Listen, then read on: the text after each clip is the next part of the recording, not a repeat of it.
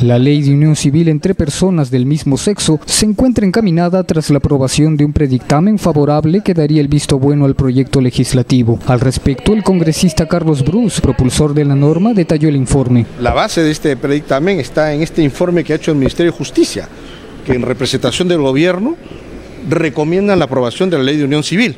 El Ministerio de Justicia dice en, sus conclusiones que eh, este proyecto de ley resulta jurídicamente viable y además representativo de una concreción esencial de los derechos fundamentales al libre desarrollo de la personalidad, la igualdad y la no discriminación. El predictamen que ya fue recibido por la Secretaría Técnica de la Comisión de Justicia del Congreso deberá ser aprobada por la Comisión de Justicia y luego pasar al Pleno Parlamentario para su análisis y discusión hacia un futuro establecimiento de la ley. Esto no es un lecho de rosas, pero eso no es de ninguna manera excusa para no presentar esto que es algo que los países más evolucionados del mundo este, han afrontado en su momento y que se está dando eh, eh, a nivel mundial. Es el sentido de la historia. Si antes discriminábamos a, los negros por su raza o le negábamos a las mujeres el voto, bueno, hoy día toca afrontar esto que es una minoría de peruanos que está siendo discriminado por la mayoría. Cabe recordar que este proyecto legislativo permitiría la legalización de la situación de parejas homosexuales ante el Estado y este les garantizaría un tipo de protección. Además, esta norma no implica el matrimonio, institución reservada exclusivamente a parejas heterosexuales. En este sentido, el legislador hizo referencia a los posibles beneficios a los que se podrían acceder de aprobarse este reglamento. Tendrían eh,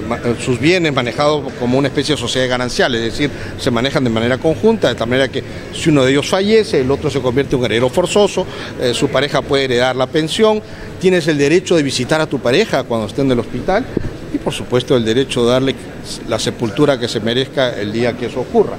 Eh, son derechos básicos que una pareja debe tener eh, y que no afectan a los demás. Asimismo, Carlos Bruce aseveró que si esta norma se aprueba, su vigencia sería inmediata. Además, se sabe que Perú y Bolivia son los únicos países que no han aprobado la unión civil para personas del mismo sexo.